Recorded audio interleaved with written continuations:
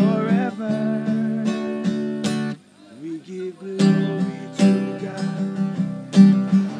You feel this one thing doesn't make you a failure? I wasn't with. I'm sorry, oh, I thought I was helpful. Phone Babe, you're a big girl. A big girl like you're supposed to be using a smartphone. A new age now, you know. Thank you, Colin. Is that why you are here? Is that why you are here? We're here to study,